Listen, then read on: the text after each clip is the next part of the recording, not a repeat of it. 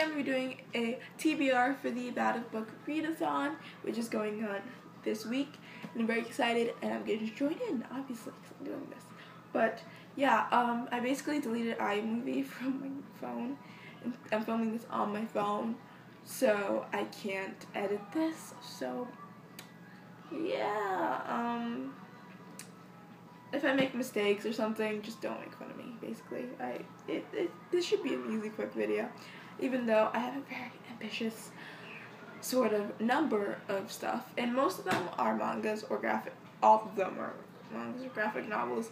Everything else I may read. I didn't actually put into this video. Like, I may read it, that's just not really, you know, put pressure on it. So yeah. So I'm just gonna show you guys the pile. Er. Yeah. So we're just gonna go into this. Okay. So basically, these are just I'm reading certain series mostly. So anyway, so the first series I'm gonna show you guys that I want to read is the Tsubasa series, the Chronic, the Reservoir Chronicle Tsubasa. Which, yeah, I'm saying it with such an American accent. It's sad, but it's um yeah, it's a manga series, and it's kind of if you ever watch, it's read from the company Champ Clamp, and if you've ever watched um, Card Capture Sakura, it's the same universe and everything. Well, it's not the same universe. It's a different universe with the same characters. So it's interesting, and it's also a crossover with a different series, which is XX Holic, and it's very cool. It's like a very cool concept that they're like intertwined because they were written around the same time, and so they actually go back and forth sometimes, and it's, it's just really cool. Anyway, so um, I'm gonna try to read six, seven, and eight, and there's like I think like forty volumes out. I don't know. I, have never actually checked, but I know there's a lot of volumes in the series, so try to knock out three more, and then I want to continue the Sailor Moon series, which I'm currently reading. Um, I borrowed most of the books from the library already. I'm currently on volume 5, and I'm kind of slowly reading it because I don't have volume 6 with me. But I am going to get it tomorrow at the library because it's, it's ready for me. Uh, it's on hold, and it's ready for me now, and I'm so excited. So I'm going to just finish that tonight and just read these during the week. But I have volume 7, obviously volume 6, I'm gonna read volume 6 before 7, just saying. Volume 7,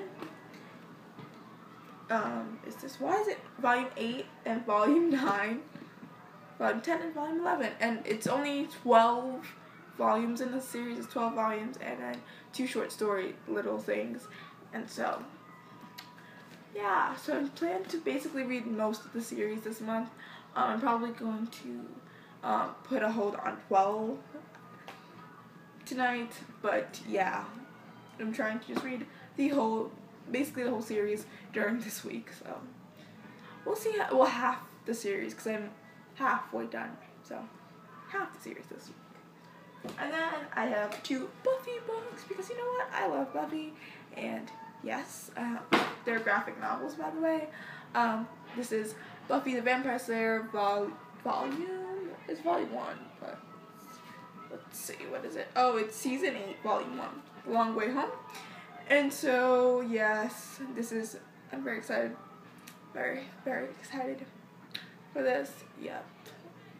Because I read some post volume eight graphic novels and they just didn't make fully make any sense to me. So you know what?